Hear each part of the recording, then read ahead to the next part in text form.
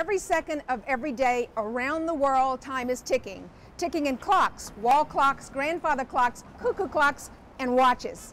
I'm here at the Clock and Watch Shop on Gravier Street in the Central Business District where the Hertzinger family is offering the gift of time and they're doing it in a really big way. So let's go inside because you won't believe what you see or what you hear. As you enter the shop, you see and hear hundreds of clocks ticking and chiming in a rhythm that is both peaceful and music to the ears. But behind the mechanics of that ticking is the master clockmaker who keeps them running no matter how old or how new. I'm joined by Joseph Hertzinger, the owner of the shop and the master clock and watchmaker. Joseph, you have an incredible display of time here in this beautiful shop. Where did this all begin? Well, thank you, Mary. And uh, it all began uh, the watch and clock shop is existing since 1958. But I am coming from Austria and uh, I was going through a seven-year trade school and um, made a master's degree in the end. And you learn how to make watches, clocks, pocket watches. Well, it takes years of study. I see a lot of awards here on the wall. Yes, yes. Uh, here you see my master's degree. Here is a certificate from Switzerland where we get um, always uh, updated uh, certificates for the newest watches and clocks that are out there. Well, why don't we take a look around? You have some fabulous pieces. Your collection of time includes clocks dating back to the 1600s, and I'm holding one right here. It's called a water clock. The Egyptians actually invented this, but I understand it's from Holland. Yeah, this one is from Holland. Uh, it's from the 1600s, and uh, you can see it's a one-handed one. And when the, you fill it up with water, and then the water slowly rinses out here in, the, in this little uh, hole and uh, when it goes down that will tell you the time. So interesting, this belongs in Smithsonian. Now behind us here you have a collection of pocket watches dating back to the 1600s uh -huh. I believe. Um, this one is one of uh, French uh, pocket watch, uh, Crivon Grisette, um, something very very beautiful. You can see all the intricate work in here. Um, of course, we love to work on something like that. And uh, this one actually is for sale here. Uh, you see all the enamel work. You set it by the front here with a key and also the hand gets set. A lot of intricate details. Oh my gosh, yeah. They put a lot of love in there in this time. Joseph, another interesting piece are your mahogany clocks, and they don't make those mahogany anymore. Let's go back and take a look. Now, Mary, here we have a very, very beautiful mahogany English grandfather clock. It's out of the 1800s, early 1800s. Um, of course, we make also house calls. We visit you in your house. If you have uh, something, uh, grandfather clock, uh, large wall clocks, uh, we visit you and we can uh, repair it in your house or we bring it in for service. Um, if you look here, we have an Atmos clock. They was invented in 1920 by Mr. Reutter. They are now produced by the Jaeger-LeCoultre company in Switzerland. Uh, they have a bellows in the back. Originally it was a mercury bellow, now it's uh, a gas bellow. What uh, expands and retracts uh, by um, from atmospheric uh, pressure difference and that's how the clock winds up. There's a chain connected to the bellow and it will wind then the mainspring in there and so it can then run forever without winding. Joseph, one of my favorite pieces in the whole store is this colonial clock. Now, this dates back to the early 1900s. Uh, that's very, very beautiful, and uh, it has a cathedral sound and a chime. You will hear it right now. That was the Westminster chime. Mm -hmm. So beautiful, so beautiful.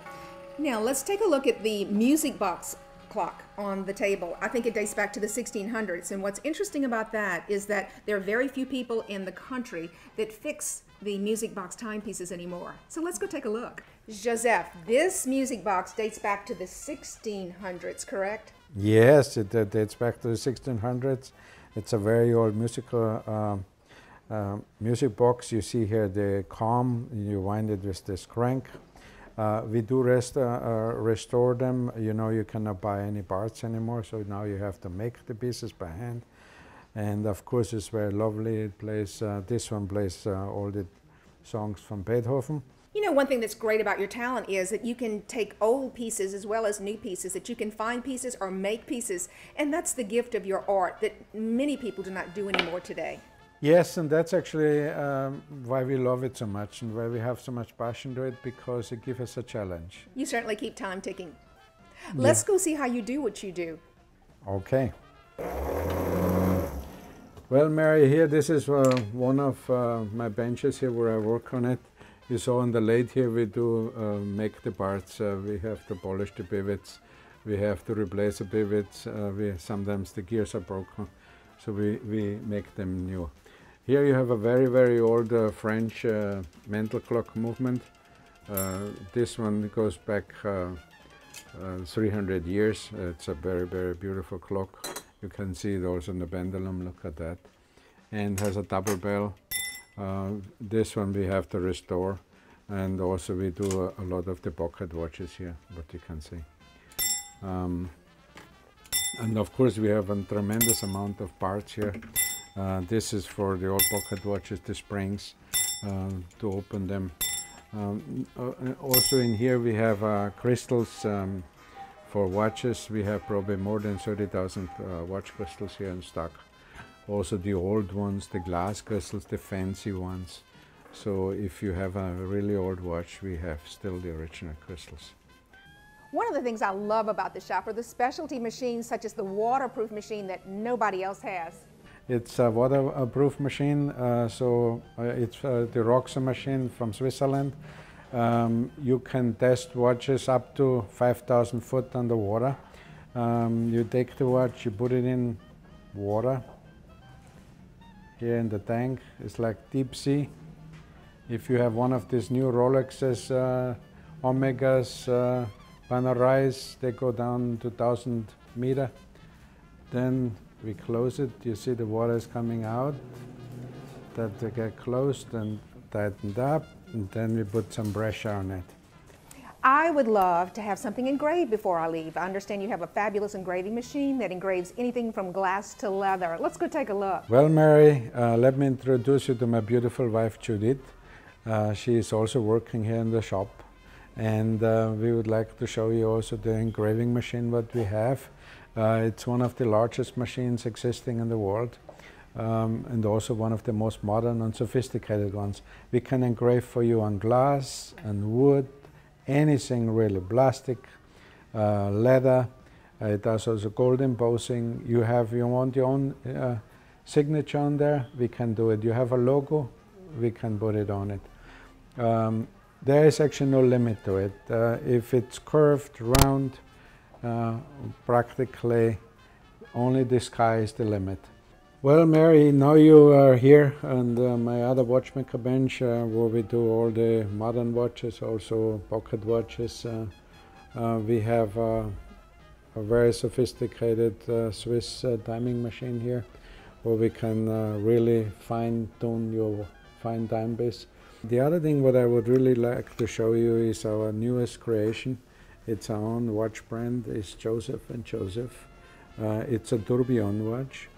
Um, and after that, we will go married to the Cuckoo Clocks. Well, Joseph and Judith, thank you so much for the gift of your time and sharing with us the world of time. And you, Joseph, and the Watch and Clock Shop are truly real New Orleans. Thank you. Thank you.